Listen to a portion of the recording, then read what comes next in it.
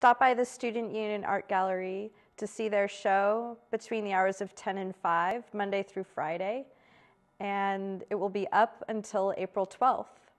We're having our closing reception on April 12th from 4 to 7. It's a catered event, uh, catered by UMass Catering, and it's open to anyone, free, free for the public.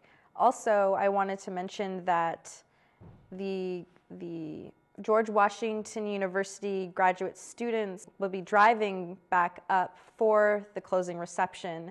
So they'll be there and we'll have an, an informal artist talk. So not only on the, the reception day can you see the art and be a, be a part of the sort of a community reception event, uh, we'll also be talking about the art, which will be really great. We brought our art to their gallery, so we were in the, you know, sort of the artist role, and now we're in the production role.